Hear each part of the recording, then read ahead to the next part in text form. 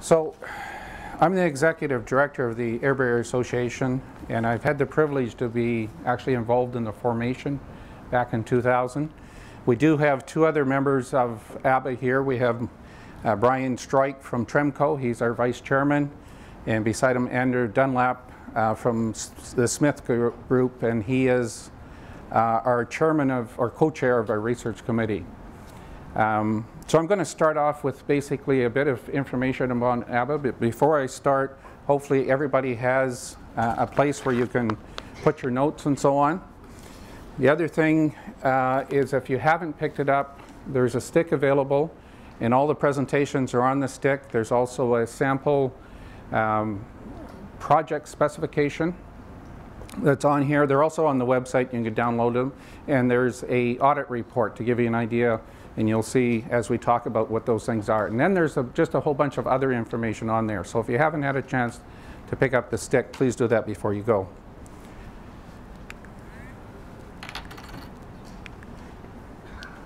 So we get down to who is ABAA, um, and did I miss one? No.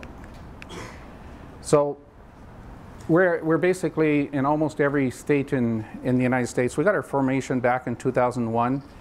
And here's what we have in Ohio. We have 17 contractors, two manufacturers, two testing labs, six building envelope consultants, and two licensed field auditors. And we'll go through the definitions of what those mean. The other thing that we like to point out is our membership is uh, mainly made up of contractors. Uh, a lot of associations are basically manufacturer driven. We're, we're, we believe, the industry driven. We're trying to solve the problems that are out in the field. I guess the other thing I should mention is that although we call ourselves the Air Barrier Association of America, we deal with all the control layers. So we wanted to go from the Air Barrier Association to the Air and Water Resistance and Vapor Barrier and Heat Barrier Association, but the acronym got too long and too cumbersome, so we're going to leave it as ABAA.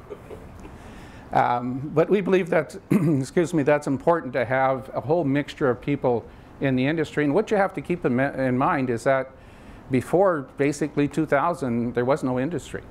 And, and so a lot of things had to be developed and still got to, to be developed. We've got a tremendous amount of work to do. The other thing I'm, I'm really proud of is ABAA has always maintained that we build everything on a technical basis. So we want it technically correct and scientifically defensible, which means we got to do a whole lot of work to be able to have that where we are.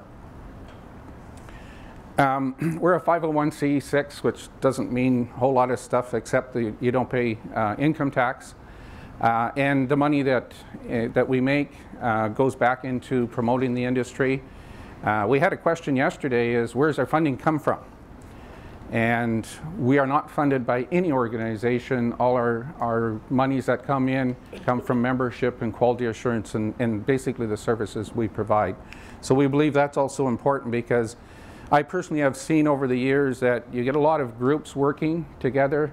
They get government funding and then the axe comes and government funding isn't there and they sort of go by the wayside. So we wanted to build and have a value proposition to our membership as to why they would join and why they would participate.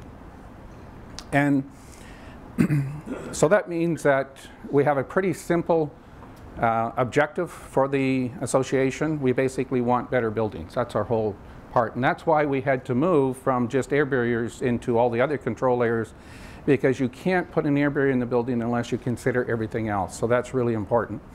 And like any sort of trade association, we have a board of directors that guides us. They're elected by the members. We have uh, currently 23 directors out there. Uh, Matt is one of, uh, Jim is one of our members that we have on the board of, of directors. So we're always wanting to get input into the organization from what's happening in the field and how do we solve some of the problems out there. I'm not going to go through all the details, but this is basically the structure. You'll see the two main things, though, is the technical committee and the quality assurance uh, program committee. So in the, in the um, committee's uh, scope of work, we have quality assurance contractors, education, marketing, governance, sort of the, the, tech, the main things. And in our, in our main technical committee, which we've got about 45 members in there, we break it down into task groups of whatever we're trying to develop there. And that's where basically all the work is done. And then the other big uh, part is our research committee, and then we have the task groups underneath those research committees there. So, um, and by the way, the, the work list for the technical committee is four pages long, and the work list for the, the research committee is almost as long there. We keep adding projects, even though we're, we're finishing projects and moving on, we keep understanding and realizing that we still have to do a whole lot of work. So we do a lot of education. We have two objectives for the association. Education, site quality assurance. That's it. We established those back in 2001 and we go back and revisit them and so on and so forth, but we still maintain that's really what needs to be done. And we find that the education is really, really important because there's a lot of um, miscommunication and confusion of all these control layers and how do they work and how do they interact.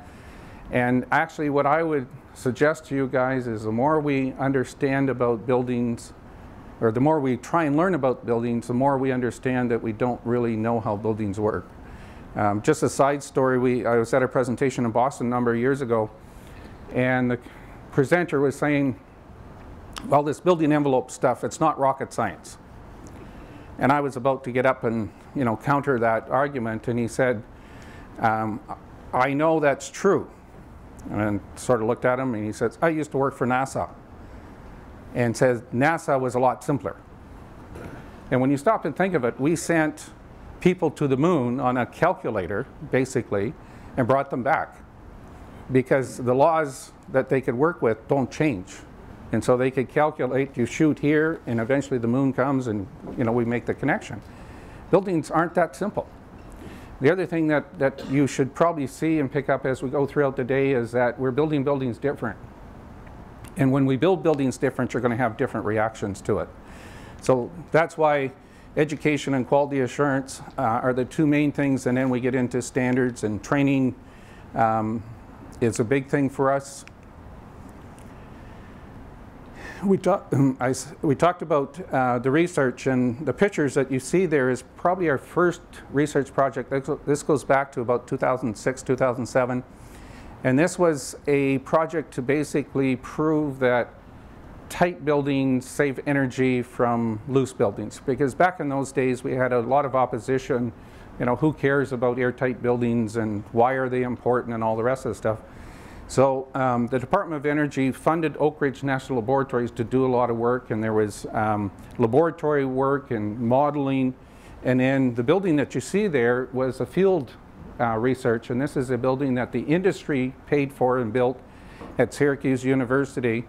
Um, it's two-story and it's still there and we wanted to have it someplace where it would stay and people could use. Now why did we pick Syracuse? Um, the leader, the project leader from, uh, from Oak Ridge National Laboratory says it's the worst place that you could be uh, in the United States. And I think that's a compliment though. But we needed something that had a lot of moisture and a lot of wind and a lot of snow and so on. But the, the irony is that, uh, his name is, is uh, Andre Desjarlais, uh, he didn't want to go to Syracuse in the wintertime. So our meetings were always in the summertime. Uh, but it was really interesting because we got everybody to work together. And one of the outcomes with this, and all, oh, by the way, all these research reports are on our website. One of the outcomes we found is that we're not handling, we're not modeling air leakage properly. We're just picking numbers out of the air. We have no basis for what we're putting into ASHRAE 90.1 and IECC and so on. Uh, we also did um, a called drain, dr dr drainage and drying project because we have all the issues of how do we drain waters and do they really dry and do you need an airspace and how wide is that airspace and so on. And we've, we've continued to work with a lot of research projects. Every time we see a problem in the field, we try and deal with it. We had um, an architectural firm not too far from here that came back to us and said, you know, we really like what you're doing. We use a quality assurance program. But you know what? When the air barrier contractor's all done, our cladding guys come and put thousands of holes in it. Is that a problem? And I said to them, I can't answer that. We don't actually know. So that's one of our research projects that, that uh, is being headed up by Andrew. And we need to, to understand that. So the leakage of fasteners, whether it's uh, fasteners through the air barriers or for the cladding system or whatever, uh, for both air leakage and for water leakage is actually a, a, big question that nobody has an answer for. So that's the top of our list. We also, to do quality assurance, you need proper standards and test methods and so on. So we, we also develop our own and we work very heavily with ASHRAE and ASTM and, and other ones. the top one is the Army Corps of Engineers protocol. And that's important. They asked us to work with us, so that we did, and, and we basically met every week for three years to go through their protocol. Now, their protocol is, is a combination of a test method and a uh, project specification. It's sort of a mix match. But that's important because the Army Corps of Engineers was the first organization to have a performance requirements for air barriers. So they didn't really care how you got there, but at the end of the day, the building was tested and you had to meet a very, what was considered a very tight requirement, 0.25 cubic feet per square foot at a pressure difference 1.57. And if you didn't, you basically didn't get your money. And it was interesting with the people I dealt with, uh, the first contractors were involved with it, their comments, well, this is stupid, this is crazy, this is ridiculous, you shouldn't have this requirement, and on and on. And then they did the second project. And the second project was, well, I'm starting to understand it, but I really think it's stupid and shouldn't have it, and I shouldn't be held to this standard, and so on. And then the third project, it was sort of like, well, why isn't everybody doing this? And there's a lot of reports on that because they've literally done thousands of buildings. And if you take a look at the data points, there's a big swath, but it's all going down. So they started out at 0.25, which, which was considered very, very tight. They're now going to change it to 0.15 because none of their buildings are coming in at less than 0.10. A lot of the buildings are coming in at 0.05. And the latest one I heard is less than 0.03. Now, what's changed? Nothing. They're using the same material, they're building the same buildings, they're renovating the same buildings. It's the contractors that have understand how they get an airtight building because you can't see air leakage. So they've just basically understood what they need to do to get a tighter and tighter building. So, and actually, um, I got a call from a general contractor. It made my day, by the way. And the general contractor says, you got to help me. okay, how do we help you? That's what we're here for. Well, I got a letter from the Army Corps of Engineers. Okay, because I didn't meet my requirement, 0.25. Okay, not a problem. How, do we, how can we work with you? How can we help you? Well, no, you don't understand. They want to check from me. Okay, what do you want to check for? Well, they want to check for me for the energy that this building will use because it's not as tight as it should be, the energy costs for the next 25 years. Now, it wasn't a video phone, so I did a happy dance, but it was the best uh, phone call. And I think that's one of the things you're going to see in the future. We have a lot of discussion at ASHRAE and ASTM and I-codes and so on about making whole building uh, mandatory requirement. City of Seattle has, that, has had that requirement for years because that's really the only thing that counts. You can't see air leakage. What you do in the lab can be replicated, but you don't know for sure unless you test the whole building. So I think you're going to see that um, come up in the future. The other thing that we spend a lot of time is training and education. This is basically what we're doing here today. And what we found is that there is nobody out there that doesn't need education, and we're trying to help those, whether it's a building official, design professional, even manufacturers. Uh, their salespeople and so on, uh, we've done a lot of training for them to help them understand the basic science behind it and how they work better and how they can present their products better and so on. Um, so we spend a tremendous amount of time out there doing things. And we have our annual conference coming up in May 8th and 9th in Salt Lake City, uh, and we do one every year. We also get into certification. Now, there's a lot of confusion between certification, accreditation, and certificate, and so on. Uh, and it's easy to separate. You can certify a person, a product. You can't certify a company. So if you see ISO 9000 certified, that is wrong. Your ISO 9000 registered is the proper terminology. So we accredit organizations to be able to do something. So that's contractors and so on. We certify people because we follow ISO 17024, which is a confirmation of knowledge, skills, and ability. The people have to know what they should do and they have to be able to do it. And then uh, we can get into certifi certification of the sales reps and we can get a certification in the audit. A certificate is what you will probably get today from ABAA, or you will get today from ABAA, which means that you came here. But you don't write a test, you don't have to prove your knowledge, skills, and ability. So a certificate sometimes is called warm seat in, in the, uh, a warm butt in the seat. You know, there's no requirement. And ASTM basically is putting out a certificate program for building commissioning agents. They were going to go down the road of certification, and when they found out it's not quite as easy as it looks, they switched over to, to a certificate program. Um, and then uh, being registered simply, ISO 9000 means you got all the stuff lined up and so on. So because it's the workers out in the field this morning, which is a not a nice day, how they perform in putting the air barrier on and water resistant barrier and so on will make the building work or not work. That has been a foundation from day one for the association. We really need the workers trained. A lot of other organizations will train the contractor, which means uh, some of the management people and so on. A lot of these people never go out in the field. So we really feel that's the baseline. And, and so we really spend a lot of time in our training and certification of workers. We also do a lot of publications, and there's actually a tremendous amount of information out there on air barriers. Uh, if you go back in history, um, the whole thing started in the 40s, and it was the University of Minnesota was trying to figure out how to keep water out of buildings. And the result of their research, we started to use building paper. And building paper on the outside of buildings actually helped. It shed the water. It's the precursor to what we use for water resistant barriers today. But they were still having water in, in, in buildings, especially walls and so on. So they said, well, where's the water coming from? And the hypothesis at that time, well, it's the moisture in the air and it's seeping into our walls and cold climates and condensing. So let's get a vapor barrier out there. So we went gung-ho in vapor barriers all over the United States. We still were getting problems in walls, moisture, frost, ice, all the rest of the stuff, condensation, rot, mildew, corrosion. And as we started to look at, now we're into the 80s, and, the, and we started to look at that, what we found is air leakage was the problem. It's the moisture that's in the air leaking through holes into our building envelope, condensing, um, and causing all the problems. And that was compounded back in the 70s. Some of you guys will remember the OPEC oil crisis. And we threw a bunch of insulation into buildings without really understanding what we were doing. We destroyed a lot of buildings, which caused a lot of work for contractors. They liked it.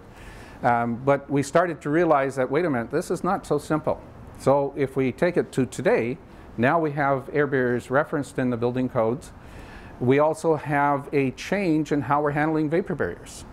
And so in some areas you don't have to have a vapor barrier. And we'll go through that in the building science that's out there.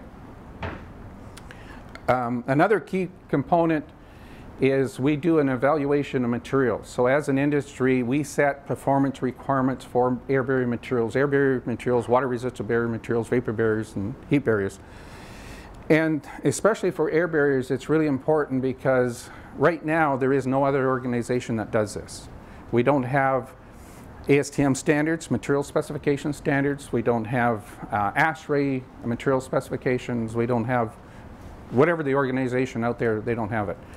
So rather than you guys having to take a look at a material, look at the spec sheet, try and decide whether that's good, bad, and different, will it perform as an air barrier, will it not, will it perform as a water resistant barrier, we got the industry together to sort of make those decisions. So it's now as simple as going on our, our website and looking up a material, and we tell you all the criteria it has to meet. It's all public knowledge, all on the website.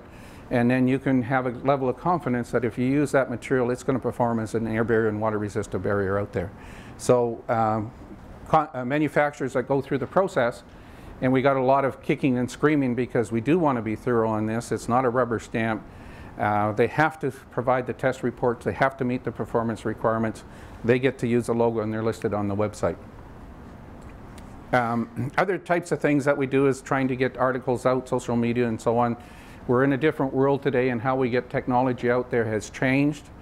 Uh, I was at a um, evaluation lab or evaluation organization for materials and I've known the guy forever and he's retiring and his comment to me was if it's not on the internet people believe it's not around and you know he has like two walls all full of books And he had one of the new recruits come in and, and the, he's supposed to go do this project. And he came back and he says, I can't find anything.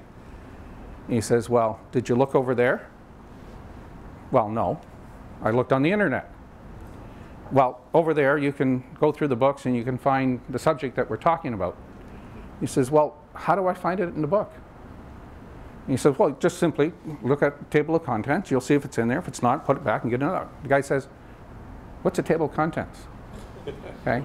Now, the world has changed and we've got to deal with it. So we've got to get some of the things out there. The energy savings calculator is because, going back, I mentioned earlier that we're not really um, properly assessing the energy performance of air barriers. We picked a number out of the air. It's 0.25 cubic feet, no pressure difference given to it, and so on. And we throw that in because the modeling program then equates some energy loss to it. And so we, we worked with the National Institute of Science Technology and Oak Ridge National Laboratories to develop an energy calculator which takes the real world conditions, in this case um, right here, turns that into how much a building would leak and therefore what are the energy savings and so on. So uh, we have three archetypes in there, 52 cities across the United States. We're adding four more archetypes in there. It'll give you an idea of, of your energy savings simply for an air barrier we want everybody involved in it, and we really, um, we really appreciate the people that spend their time and energy in, in ABAA. And one of the things that I hear time and time again is uh, we don't mind working with ABAA, helping ABAA, volunteering with ABAA, because you guys are actually doing something. And to me, that's the best compliment we can ever get. And we never want to lose that out there. And then getting to our number one after education, quality assurance, so we accredit contractors, we certify installers, we do site audits, make things sure are done right, and then we bring that information from the field back into better technical uh, reference documents, changes to test reports, whatever it might be. We have that continued uh, flow of information from the field so that we can improve things. So I'm going to take you into building science for a bit. And we believe it's important because uh, building science is basically the physics. How does air flow, moisture flow, and heat flow? And we actually even teach this to installers, and we've been challenged in that, like these workers, what do they need to know building science for? But if you understand the fundamentals of why things are ha happening, it's much easier to make a decision on what you should do out there. So uh, I'd like to walk you through heat flow, airflow, and moisture flow, and some of the issues that we see in the field. Uh, because the nice thing about that is physics doesn't change. Doesn't change if you go back to the 40s, the 60s, the 80s today. Doesn't change if you're in Boston, if you're in, in Houston, Alaska. How we build our buildings depends on the, the climate conditions, but the physics of heat flow, airflow, and moisture flow doesn't, don't change. So I start out with a few questions. And the first one I always ask is, how many in the audience agree with me that heat rises. Okay? Now, all of the presenters you'll find today are very relaxed. They want you to challenge them, especially those guys. Me, not so much. Uh, but ask questions. Don't agree with everything. Like, don't be backwards. And there is no wrong questions and no wrong answers. Okay? We're here to learn from each other. So, all the people that said heat rise, or anybody, what does heat always do as a physics? Heat always goes from what to what? Hot to cold. Hot to cold, right on. What's the coldest surface in this room? Floor. The floor. So which way does heat flow in this room? From you down. Okay, normally somebody says, okay, fine. I'm talking about hot air. Hot air rises. Does hot air rise? Who in the room agrees that hot air rises? You should be picking up the point here, by the way. What has to happen for hot air to rise? Cold air, yeah. So if there's no cold air coming in the room, if this is hot air here, it's not going to go anywhere. We need the cold air, which is denser, to push the hot air up because it's lighter density. So who cares? Well, take it in a building. If you don't have any cold air coming in, you don't have any hot air going out. It's really that simple. Uh, but that's part of the mist that we see out there. Um, so if we go back to heat always goes hot to cold, and we're going to get in a little bit more details on that. Confusion of vapor barriers. Not too long ago in the code, it was one perm, every building, every place in the United States. And we get a lot of calls, and in fact, there's even ASTM standards dealing with vapor barriers. And you got to take this vapor barrier, you got to seal it, and it's got to be free of holes, and you got to overlap it, and you got sometimes you got to put caulking and then put pressure bars to keep it together, and so on. So does a vapor barrier need to be sealed, free of holes, overlapped, and so on? How many people agree with that? Okay, you guys are getting a little, get, a little bit concerned here. What are we talking about as soon as we talk about free of holes and overlapped and so on? An air barrier, yeah. So if we take this material, well, it's kind of hard to see it, I guess, but it's a polyethylene film. And it's a very common vapor barrier used in construction, in residential construction. And many places seal it, lap it, caulk it, do everything. And they call it a vapor barrier. Now it is a vapor barrier, there's no question. But the confusion comes in is that it can also be an air barrier. And I said can. So what's the difference between polyethylene film put on the inside of a building over top of insulation in this climate? What's the difference between putting it on as a vapor barrier and putting it on as an air barrier? How tight it is? Yeah. Which side? What side of the insulation comes part of it? Because you want it on the warm side of the insulation. So in this particular case, it's on the inside of the building. But if you go to the codes for vapor barriers, you hang it. You don't have to seal it. In fact, if we had a hole in this wall that was two feet in diameter, would you have a problem with your vapor barrier?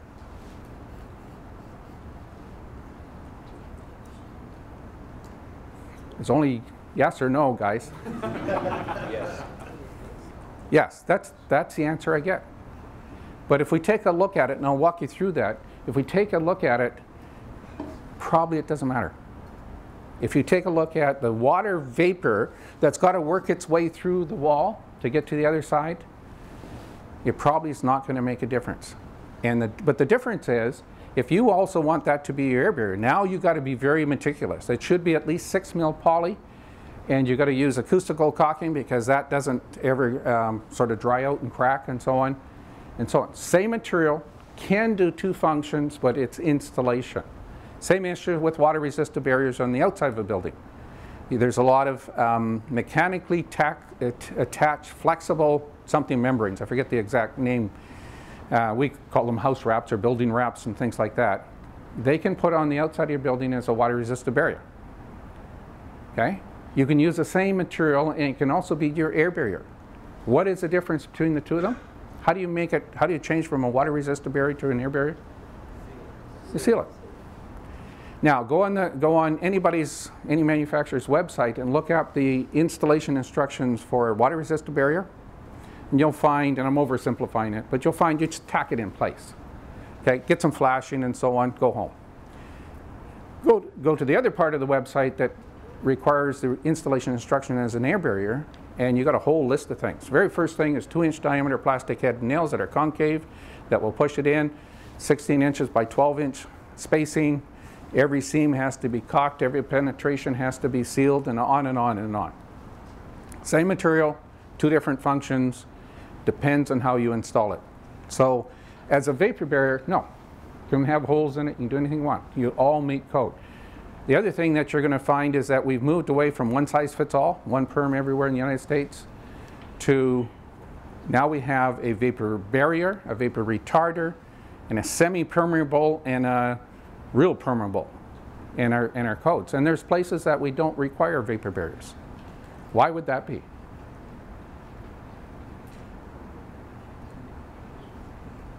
Let me help you.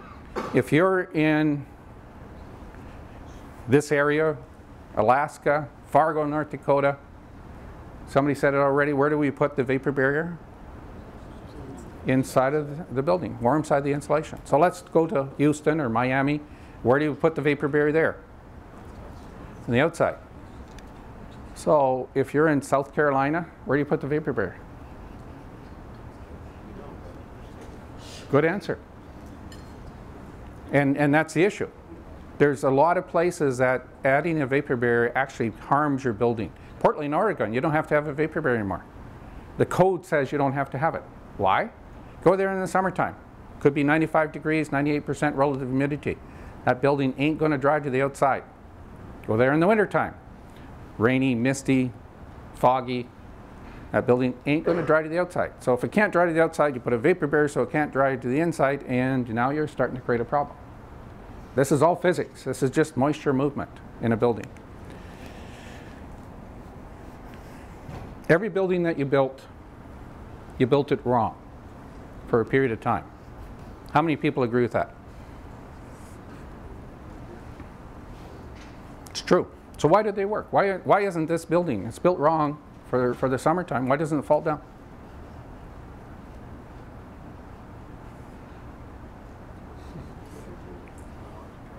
Sometime in the year. Time is a critical thing. So we build buildings here in Cleveland for the right way to build them for a long, longer period of time than we build them for the wrong period of time. Okay, so they work. Another example, uh, we're, uh, ABAA's headquartered in Boston, so I was there at least twice a month and so on. And they're building a new ter- terminal. That terminal is built absolutely backwards. The air, vapor, and water resistant barrier is the outside of the building, all the insulation on the inside. It's Boston, that's backwards. It's not, not meeting code. It works. Why does that terminal work? Think of the function of that building. Yeah. Got a lot of people. People need, according to the code, we got to have stuff to breathe. It's air. We have a lot of ventilation, so it works. So we build buildings wrong, and you just got to make sure that that wrong period is a relatively short period of time. This is one we see all the time. We can't put air barriers in the building because we're going to make them too tight, and buildings have to breathe. How many people agree with that? Okay. We got to go back to what we're talking about. By the way, if you want to show that you understand building science, here's a quick tip. Every question that you get answered, just say, it depends. okay? Nobody can argue with that. Absolutely nobody can argue with that. So everybody will think that you've went to, you know, 100 classes of building on building science. Let's go back to what we're talking about breathing. So, and we actually had ASHRAE standards, and it was more for residential um, retrofits. We tightened these old homes down. There's um, the program is in question right now, but we used to to retrofit uh, for low-income families across the United States, literally hundreds of thousands of homes every year. And we had a standard that you air tighten it because we under that program understood the importance of air barriers or air leakage control. But they said you tighten it down to this point and then you can't tighten it more because people need the air to breathe. Okay, that standard's been pulled, thank goodness. What are we talking about with breathing? Are we talking about your building leaks all full of holes? Is that where you want the, the air to come in? No, our, our codes, especially in the commercial side, say you have to have mechanical ventilation. You have to have air coming in. And by the way, you want the air to go where you are, not some corner, down and through a crawl space and all over the place. And if we go back to the original, you know, the proper terminology of breathing, um, you guys familiar with Gore-Tex, Gore-Tex jackets and so on, that type of fabric? So what is, wh- why would you buy a Gore-Tex jacket? Keep water out. Keep water out? Hey, doesn't that sound like your building? What's the next thing it does? It breathes, but before that, yeah, you're, you're ahead of me. Work with me here. What's the next thing? Liquid water off you. It's a windbreaker. Sort of like your building. That's what we want on the outside of this building. We want to keep liquid water out, number one, and then we want the air to stop, and then we get into the breathing. Now, do you punch holes through your Gore-Tex jacket so it can breathe? You know? Probably should because it doesn't breathe. I'll take that up with them. but it's basically it's the if you're exerting yourself, playing hockey, climbing mountains, whatever it is, You sweat, and the idea is that you want that moisture to go out because if you get wet, you're cold. You're, and if you're out really, really cold, you're dead. So that's a proper terminology of breathing. It has nothing to do with air leakage in the building because here's the reasons why.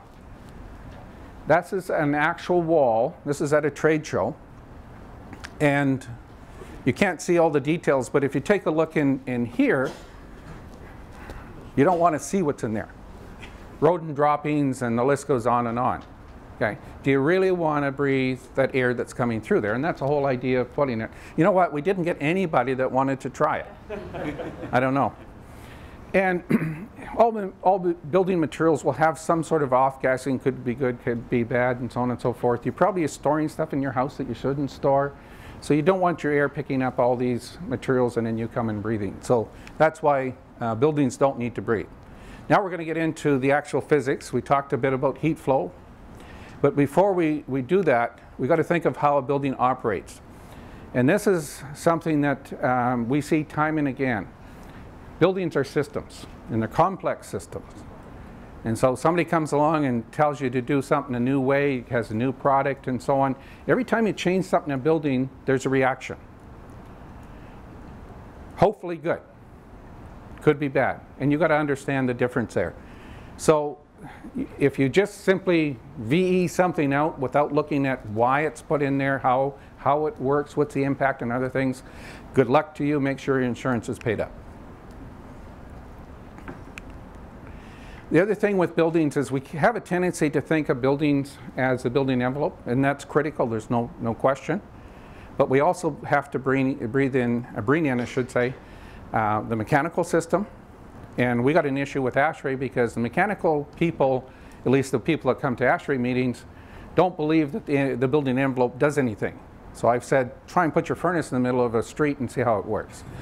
um, so that that has to be considered, and I've been asked time and time again, get the mechanical people talking to the building envelope people, because they need to work together. And then we throw people in there. Why would we consider people part of a building? People come and go. You guys are here. Are you part of the building? Yeah. Because you screwed up. You're a unvented combustion appliance. Okay? And so moisture is a, a pollutant. In your home, as long as you don't mop your floors with liquid water or store cordwood for your fireplace in your house or dry your clothes on a line in your house, you are the biggest polluter of moisture in your house. And then you go and you do the thermostat, you can really destroy. If you want a building to work, just keep people out of it. It'll work really, really well. the other thing we like to get across, we keep thinking about inside and outside.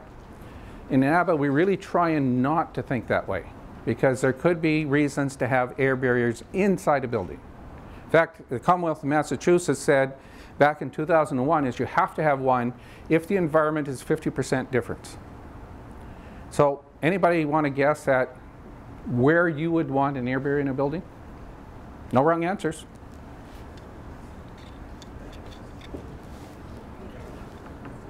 I hear some mermaids. I'm sorry, I can't hear you. It depends. See? You get a building science certificate. Outbound the sheeting. Outbound is sheeting? Yeah, but that's going to be inside to outside. Why would you want one inside? What about, you ever been in a hotel with a swimming pool? You really want to sleep in the swimming pool? You want a different environment there. How about you go to the hospital? Your room is right next to the infectious disease part of the hospital. Wouldn't it be nice to have an air barrier there? Okay, and you can go on and on. We have semi-heated parts of our buildings. We have, um, you know, probably the the best example is our Center for Disease Control. We don't want things leaving a room, let alone the building. So there's lots of reasons. The other thing that's coming up uh, and getting more and more attention is noise control. There is people that are being sued, builders and architects, because noise control. So what does that got to do with air barriers? Yeah. You're hearing me because there's sound waves going through the air. Now, an air barrier won't stop the deep um, sort of noises and things like that, but they will stop about 90% of the sound. And if you take a look at even the code for sound control, you've got to put in basically it's air barriers. They don't call it that. Other things that um, they're being used now for is smells. Do you really want to smell the secondhand cigarette smoke, which is, happens to be a big uh, reason to sue somebody? You don't smoke, your neighbor does. Do you really want all his secondhand cigarette smoke into your building? What about cooking smells? How about insects? I was at a conference down in Florida and they had, uh, a company had all their products insect control. Looking at it, it's all air barriers. Good friend of mine, he's passed away. He used to go and retrofit buildings, make them airtight. That was his business. Did a really good job at it. He always used to joke that he, he carried fly larvae around and put it out around the buildings because he would get lots of work because um, there was a particular type of fly that would find the small holes and come in the buildings. Best example, City of Toronto has a 33-story City Hall building. And this chap's name was Tony. Uh, he wanted to go in and retrofit it. He saw that it leaks like a sieve. Like four layers down in the garage, if somebody spilt gasoline, they would smell it on the 20th floor within five minutes. So you know there's air leakage. He tried, he tried, he tried, couldn't get City Hall to sign off on his contract. And then he called, get a call one day, can you be here tomorrow? Typical, right Matt? People phone you and want things done next day. And he was a little, not going to turn it down, that's for sure, but he's a little bit, um, why? Like what changed? Anybody want to take a wild guess? The mayor's office was on the 33rd floor. She came in one morning and there was a raccoon on her desk. Okay? Building got fixed. Um, the other thing to keep in mind, what we're trying to do even today here, is we have an outdoor environment, we got an indoor environment, we want, you know, 35 to 50% RH. Um, and by the way, got a whole standard of telling you when you feel comfortable. I figured just feel around, see if you like it. Anyway, we got, we got those conditions. Outside could be whatever it is. And so we want a barrier. And the greater the difference in temperature and moisture and so on and so forth, the greater the loads in our barriers. So we need the biggest barriers when we have the highest pressure difference, the highest loads, whether it's vapor pressure or liquid water and so on and so forth, because nature wants everything to be equal. If you've got a glass in front of you, whether it's cold water or, hot coffee, if you know if you leave that long enough, it's going to go to the same temperature as this room. Same thing with pressure, so on and so forth. So that's the reason to keep two different uh, environments even within a building. We also want to get across because we see a lot of people focusing on walls, but there's six sides to the building. So if you don't do anything about the foundation and if you don't do anything about the roof, it doesn't matter. Try and blow up, take a balloon, cut a hole in it and try and blow it up. Never going to happen. And the biggest uh, leakage area that we've seen, you know, over the last uh, 17 years is our connections.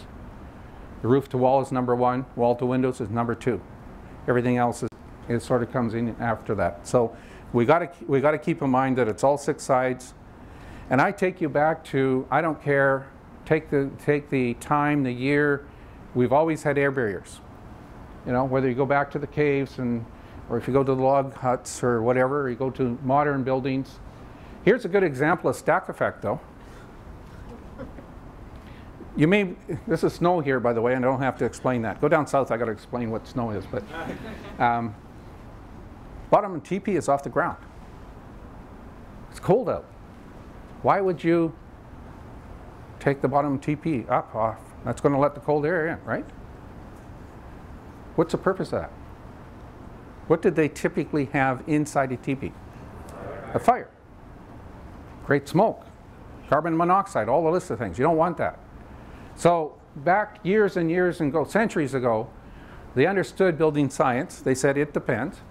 And they had a flap that you could open up here. So the cold air would come in here. It would push the warm air from the fire along with the smoke out the top. They understood building science. They'd applied it. Here's what you guys do. So in addition to breathing, so if you want to cut down a moisture problem, you got a moisture problem in your house, don't breathe. Pretty simple. Um, but also how you treat it. we go to the thermostat and we expect the thermostat to solve our problems. And you're either too hot, too cold, too wet, too dry. That's, that's what makes you comfortable or uncomfortable.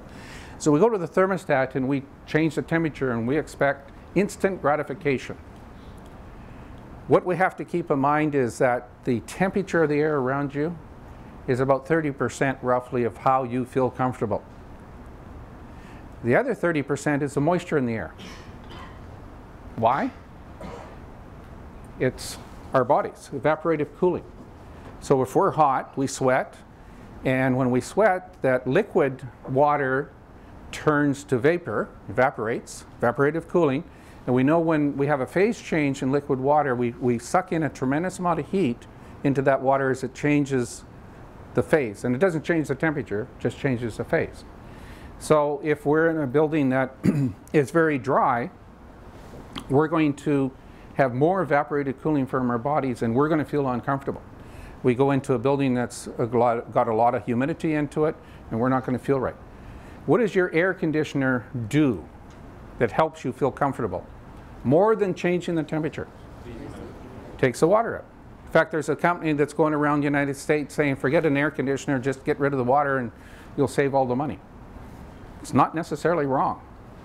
And then the third reason, the other third, so we got a third on, on the air temperature, got a third on, our on how much moisture is coming out of our bodies. What's the other third? Anybody want to guess? Drafty gets into the, uh, the evaporation. It's the surface temperature of the things around us. Okay? Because in addition to an unvented combustion appliance, you're a radiator. So you're 98.6, the wall over there is, I don't know, 70 degrees. So you got a temperature difference. We know hot goes to cold by radiation. And it doesn't work in this building, but if you had a nice, if those windows out back went right to the floor, if you stood in front of those windows and then you moved over where there's not a window, you would feel different. Air temperature is the same, humidity is the same, everything's the same, but the temperature of the surface that you radiate heat has changed, and that's why you would feel warmer besides the wall versus the window. And then we put mechanical systems in and they can help us or hurt us. They basically add, remove heat, add, or remove moisture, or move things around or create pressure differences. And they, obviously we need them in cold climates, we need them in hot climates and so on and so forth.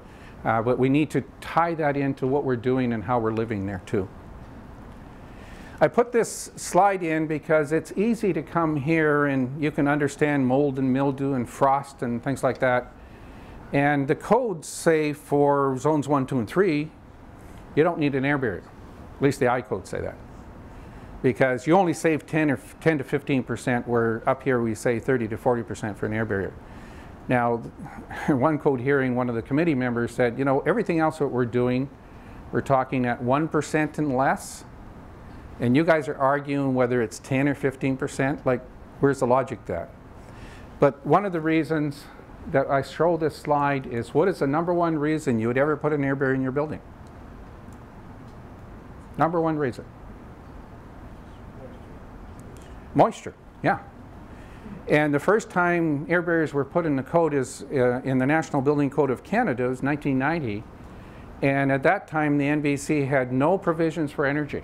So you couldn't talk about energy. It was all life safety.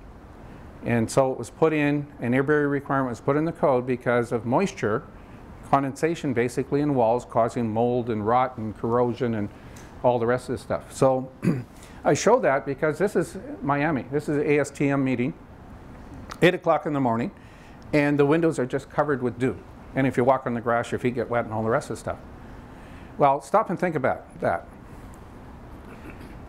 That day, it's going to be about 95 degrees. Relative humidity is going to be between 95% and 98%. Inside temperature is going to be about 74. 35, maybe 50% relative humidity.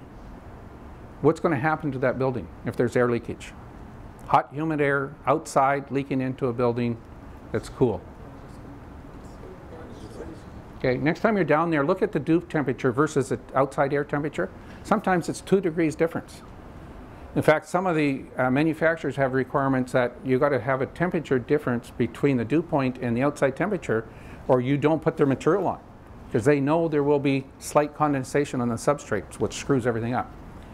So next time you're down south and you're in a hotel room, and the hotel room smells musty, now you could get thrown out and charged, but go ahead and do it anyway. Pull the vinyl wallpaper in the corner, and it's black. That's mold, okay? Physics say keep the moisture out, keep the air. Now, the black mold, you, everybody gets all excited about black mold. Black mold won't necessarily kill you, won't actually help you. Worry about the tan and the gray stuff. That's the stuff you really got to worry about. So the whole point here is to show why you would put an air barrier. In fact, it's more important to put an air barrier down in Miami than it is here because of moisture. Now, they don't necessarily save as much energy down there as you do here, but you got to do the two things to together.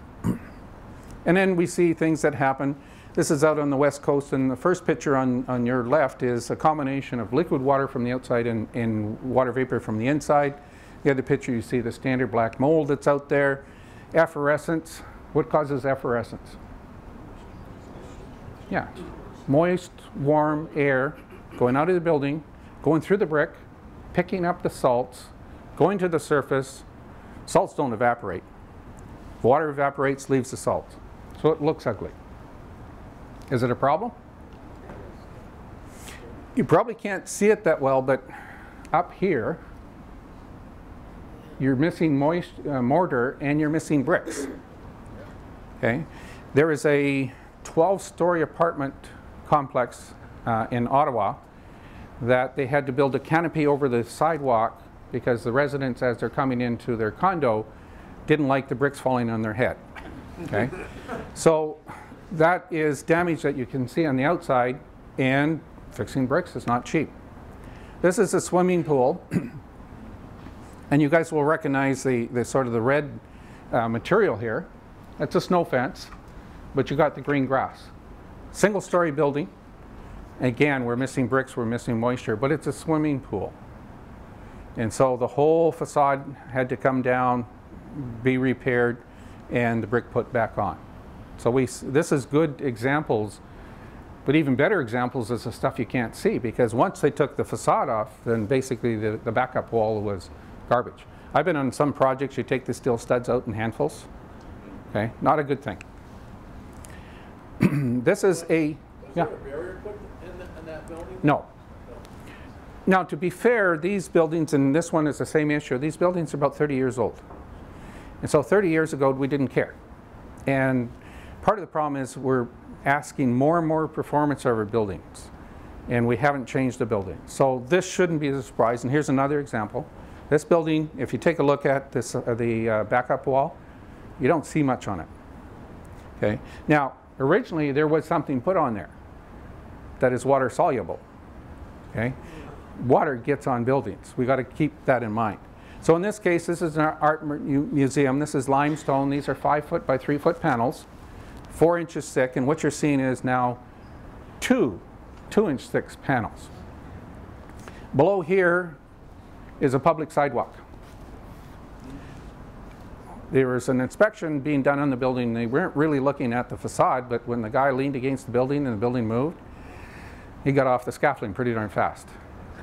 So again, everything had to come down. Oh, by the way, the hypothesis was warm, moist air coming from inside the building saturating the back half of, of the limestone, freeze thaw conditions, cold climate, combined with, for some unknown reason, they used iron for the pins.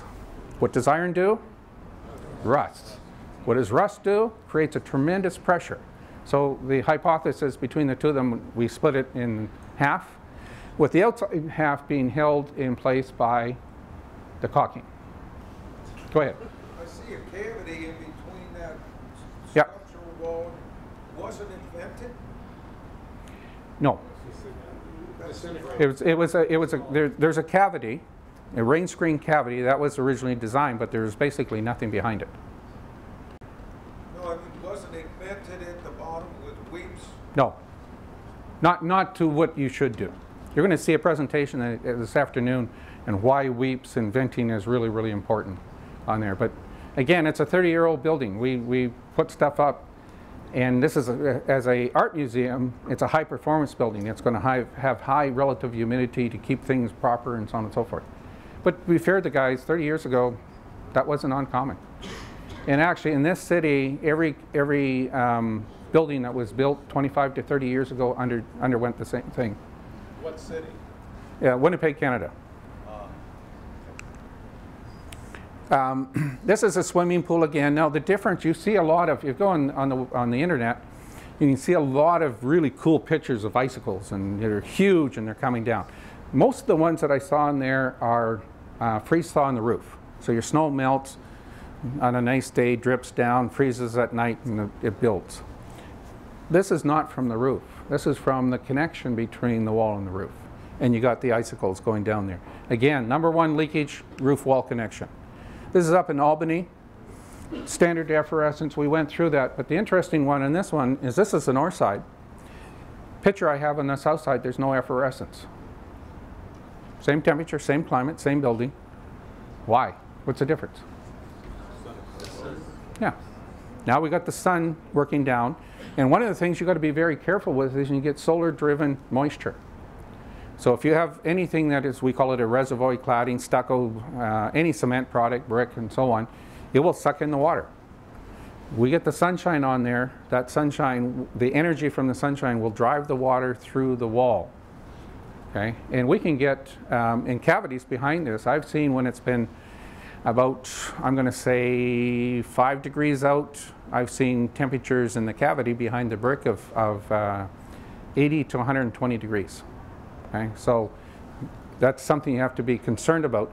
We get into, we have this whole fixation on vapor permeable versus impermeable these days. And we got one manufacturer goes, oh, I'm seven, and somebody else goes, well, I'm 7.1, and so on. Who cares? Okay? But uh, we should be talking about, you know, one 100 and 500, not 10, 5, 6. But the one thing you have to keep in mind is that if you get all excited, you want a vapor permeable on the outside, and that's a good thing to do. We want moisture to go through it. Keep in mind, moisture goes both ways. State of California phoned us. We had a manufacturer. Uh, they had a 10 perm minimum requirement. They wanted, they proposed to raise it to 30 perms. Some reason just happened to match the material that they were selling. Um, and so the California phoned us and said, well, what do you guys think? And, well, I mean, you guys are the law. You can decide whatever you want, but keep this in mind. You do do stucco down there. You actually do get rain down there. And if you're going to have 30 perms to allow moisture to go out, you're going to have 30 perms to allow moisture to come in. Their decision wasn't to change uh, from 10 perms. Heat flow. We already said heat goes from hot to flow, uh, hot to flow. Heat flows from hot to cold. And it's actually a really simple calculation. You can, you can determine the heat flow of anything that you have out there. You can go to the ASHRAE Handbook of Fundamentals. It'll give you the heat flow calculation for a particular material. It's the area times the uh, temperature difference times the, equa- or the number that you get from ASHRAE, and you got your heat flow calculation. Pretty simple. Uh, it was surprising. Uh, one of the contractors we talked to, they asked their door manufacturer, uh, you know, how they would calculate the heat loss, not just the R value of the door, but how much heat goes through the door, and the salesman didn't have a clue. Um, but it's pretty simple. The greater the temperature, because it's times the temperature difference, the delta T tells you how much heat flow. So the greater the heat flow comes from the greater uh, temperature difference. And we talk about heat flowing in conduction, convection, and radiation. Anybody would like to give me a, an example of heat flow by conduction?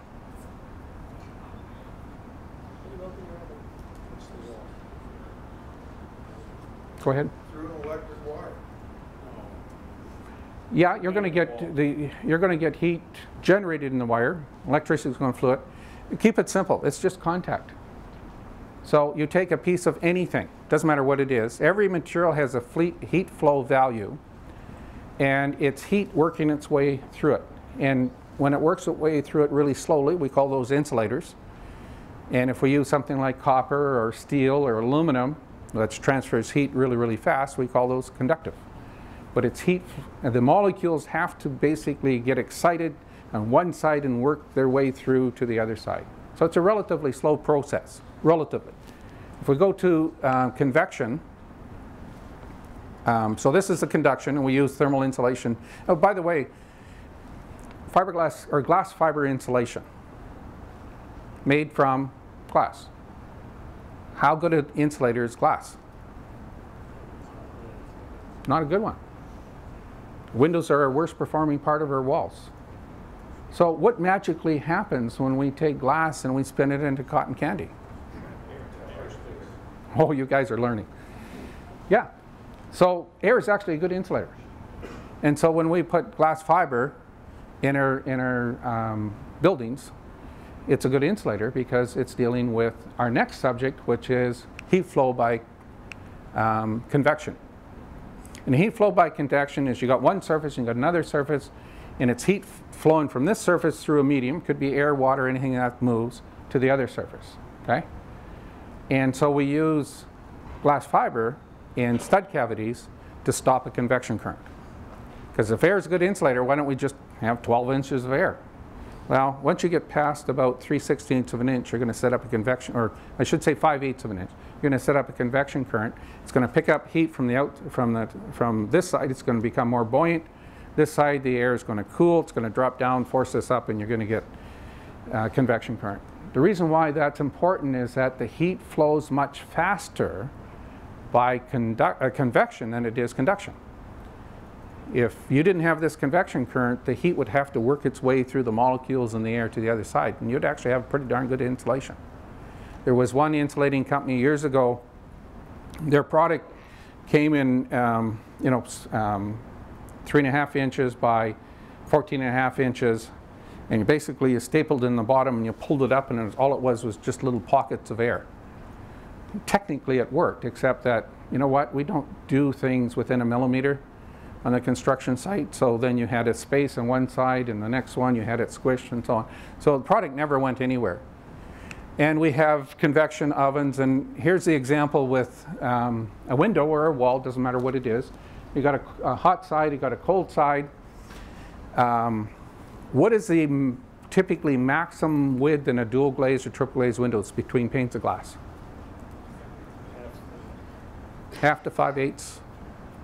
Never going to see anything less than 3 16ths. You're never going to see anything more than 3 quarters. Typically it's half or, or, or 5 eighths because of the convection current. Now we used to draw, draw a slight vacuum because vacuum is a good insulator. Remember the old thermos? You take it to school, at least I took one. And you could have hot soup in there all day. Came home after and it would be there. Uh, fantastic. It was a vacuum uh, thermos bottle. So nowadays we're putting in argon and now we're even moving to krypton and so on and so forth. And the best part of your window is the center of the glass. The frame sucks. Okay?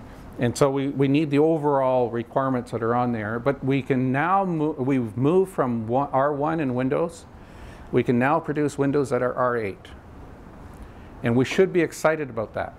Okay? Now we go to the wall and it's R, what is this area? R21, R26, somewhere in that range. So it doesn't look like a lot. But we've got to keep in mind that to cut the heat flow in half, we got to double the R value. So you get a curve. So R1 to R2, if you had 100,000 BTUs, you go from R1 to R2, you're down to 50. R1 chopped off 50,000 BTUs. Cut that in half, now you're saving 25,000. You're up to R4, 8, 16, 32. When you get past somewhere around 35 to R45, it's almost a straight line. Law of diminishing returns. So we get excited about going from R1 to R2 to R8 because we're actually saving a tremendous amount of energy. That first part is when we save the most. Radi uh, heat flow by radiation. Anybody give me an example? Sun. Sun. Best example there is. Heat transferring from an object to another object without heating, heating up the space in between. We know the temperature of the sun is, you know, 9 zillion degrees. And, and we got the earth that could be in a hot day 60, 70, 80, 90 degrees. And we know if we fly in an airplane, it's minus 40, minus 50, sometimes minus 70 if you want to get into some areas. So the heat comes from the sun. The key thing is how fast does this heat travel? Remember back in school days? What's the speed of light? 186,000 miles per second. So this becomes important because heat flow by radiation is the fastest way we can transfer heat. That's why we, we fuel. So you, you, you know, let's throw in radiant barriers and so on, and they do have a purpose. Just be careful of the claims of some of the manufacturers. It's not an end all. I saw one company that took a radiant barrier foil, basically, wrapped an expanded polystyrene, An expanded polystyrene is about R uh, th- uh, 3.8, and claimed it was R52, equal to R52. They're very careful in the wording. It's baloney. So be careful out there. So the sun, um, also if you had a fireplace or if you have a fire pit outside or something like that and it's cold, somebody can, comes and stands in front of you, you're going to feel different because he stopped the heat flow by radiation. Airflow, you should be getting the point hot to cold, wet to dry, high pressure low pressure. Uh, we got pressure differences, size of hole and location.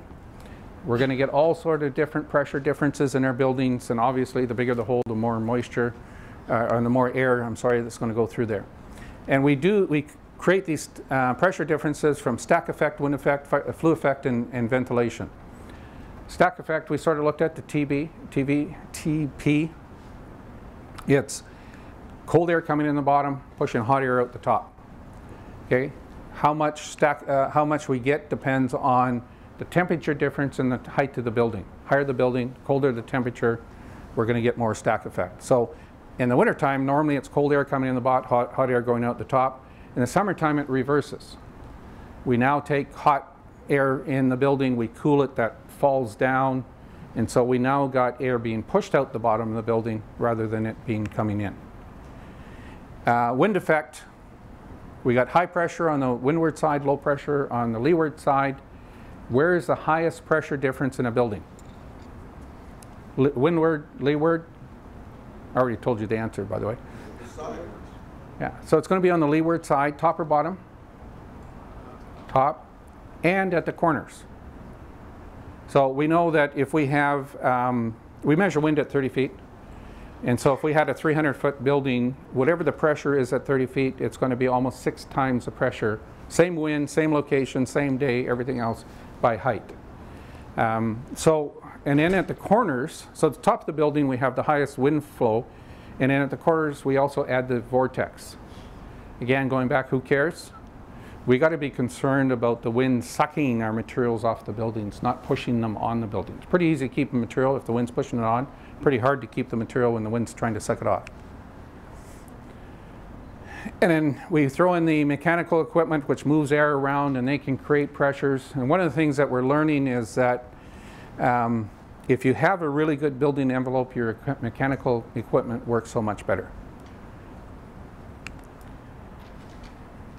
The, the key here is that we talked about these things individually, but in real world we combine three.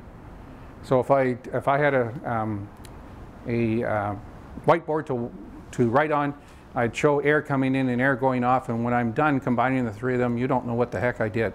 And that's really the point. We can't pinpoint where the air is coming in. If you got air coming in on one side because of wind effect, and then you got air um, going out the other side, um, or if you got the two coming in, it's going to uh, amplify it. If you got one coming in and one going out, it's going to cancel the, the two of them off there. Moisture. Now, moisture, we said, is the most critical thing that you can do, um, and why you put an air barrier out there. So we have moisture as solid, liquid, and gas. Do we have a problem if we have solid moisture in our building? Yeah. Do we? If you had a big snowstorm here and you had a gable end vent and the snow came in and covered your attic, your insulation, your attic, would, at that day, would that be a problem? No. No, it's actually it's good insulator. What's the problem? It melts. Same thing with the gas. If, if the moisture in this air could cool down and never turn to a liquid, you don't really have a problem. It's liquid what we uh, provides the, the moisture and the, the everything that we need for rot and mold and mildew and so on and so forth. So we talk about moisture moving. I say down, up, sideways, and anywhere it wants. So if we talk about gravity, we got flashings and shingles and all these things that we put on the outside of our building to deal with moisture going down. Then we have capillary action or wicking action. Concrete's porous. A lot of times um, you can have moisture going up concrete. Depends on your local conditions here, whether that's a problem, not a problem. Um, we have diffusion, that's why I say sideways. That's what we already talked about, the water vapor in the air going through materials, working their way to the other side. Um, I've been told I'm out of town, out of time. And so I'm not going to, this is in the presentation. The whole point here is if you take a look, let's go back to the two foot hole. One perm is 57 nanograms. A nanogram is a billionth of a gram. A penny weighs about two to three grams. So take a penny, take a third, divide it into a billion pieces, and then take 57, and that's how much water we're talking about. If you look at constant pressure, which is never in a building, so this is the absolute worst case, you're never ever going to see it. Calculate that all out per stud cavity per year, depending on 0.1, 1, or 10. And let's take the worst 10, it's got two cups of water coming in per stud cavity per year. Is that a problem? In most cases, not, because remember I said you're never going to get two cups. So you're going to get a whole lot less because moisture goes in, moisture goes out, and all the rest of this stuff. And then um, also too, we have some drying, everything. So in reality, and this goes back to why are we so um, concerned about vapor barriers if we're talking about teaspoons of water per stud cavity per year. Airflow, now this is, goes anywhere it wants. And air is either very smart or very lazy. I call it Brian Strike for it. And it looks at something and goes, hey, I got to do a whole lot of work here. So it finds some place to go. So it'll find the hole by the electrical outlet rather than trying to work its way through the material. It can, but it takes a tremendous amount of time. and the other part is if you have um, straight holes, they're not too bad but no hole is ever straight. You've got an electrical plug here and you might have a light outlet up there. And so the air spends more time in the, in the building envelope, better chance of it cooling down. When it cools down, we get condensation. Um, this is a standard slide, everybody use it. It's basically showing if you had a stud cavity and you had no holes in it, okay, you would have about 0.13 gallons of water going through there in a whole year have a very small hole, three quarters of an inch by three quarters of an inch, and now you got 15 gallons. How much moisture by air transport, how much by vapor diffusion, what you use vapor barriers for. Here's what we're, why we're doing all this. We got mold damage, wood rot. The interesting part with this one, this is up in Minnesota. There was about 10 homes involved with this, and when you looked at these homes, they were pristine. There's absolutely no reason you would ever believe there's a problem. This house had stucco on the outside.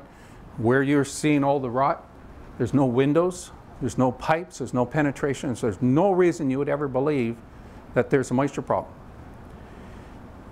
The kicker is these homes are less than five years old, and we're talking hundreds of thousands of dollars of repair. The house was basically warm moist air going into the stud cavity, dropping the moisture. It drops it on the first plane of condensation, which in a house is the inside of your exterior sheathing, and we were rotting houses from the inside, uh, from the outside in. Here's a quick thing that we're adding to our energy calculators, how much moisture. And this is why I go back to why you need an air barrier more importantly in Miami than you do here. There's a typical building and there's an airtight building. And the, and the one in Miami, that's 18 pounds of water per square foot per year. Water weighs 62.4 pounds, so 18 is about a third. It's roughly four inches. You're thinking, think of your building with four inches of water and every square foot of that building.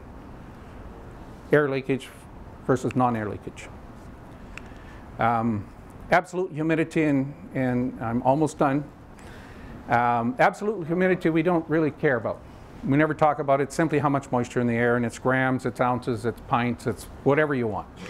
Relative humidity we're really concerned about. What is relative humidity?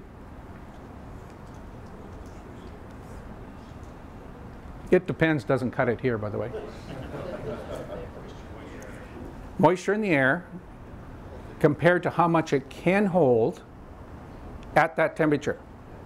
Okay? So somebody comes along and says 35% relative humidity. So what? At what temperature? Why is temperature important? What happens to relative humidity as the temperature goes up and down? So temperature goes down, what happens to relative humidity? Goes up. Temperature goes down, relative humidity goes up to it hits 100%. What happens at 100%? Okay.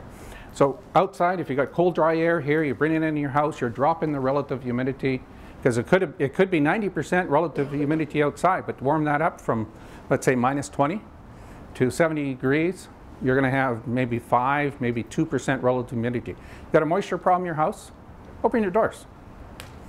Keep the cat in, keep the kids in, keep the plants from freezing, but that's the cheapest way and easiest way to, to stop condensation on your windows and so on and so forth. Just simply open your doors, change your air. we talk about dew points and so on and so forth. Um, we're starting to move to more sophisticated calculations, WUFI, those type of things, computer programs. We can do a lot better job now on there. So, in conclusion, every material has a heat flow. Every material allows water vapor to transfer through it at a certain rate. Every material has an air leakage rate. Um, every material will either absorb water or not absorb water, water resistant barrier, non water resistant barrier, and all those things go to together for durability. And durability is one of the biggest challenges that's facing the industry right now because we're not quite sure whether a product is going to last 5, 10, 50, 100 years. We don't have the sort of the history behind it. So these are the things that I'm hoping you're going to walk away. Keep thinking of buildings as systems. Don't think of an air barrier by itself. You have to think of the water resistant barrier, the heat barrier, and the vapor barrier. Combine the two of them because anytime you change a material in that, uh, that sort of combination of materials, you're going to change how your building works. You want to deal with the mechanical equipment and that can help you, but if you don't have a really good uh, building envelope, your mechanical system's not going to work. And finally, the whole, as we go to nearly net zero, and I believe we're going there, we can argue about what the date is. We're never going to get there unless we build our building envelopes the absolute best that we can to reduce energy use, to reduce moisture control. But as we do that, and we see this in Passive House, the more insulation we put in, that insulation actually works. And it works by stopping or slowing down heat flow. When we still slow down the energy that's going through our building enclosures, it slows down the drying potential. And so you're going to see problems with buildings because we're putting more insulation in, but you built them exactly the same except now you got more insulation. So we've got to be conscious of that and we've got to do things to address those now rather than wait until our buildings literally fall down. Any final questions before I get roped off the stage here? I always go first, by the way, because then everybody has to make up the time that I use. Okay, thank you very much.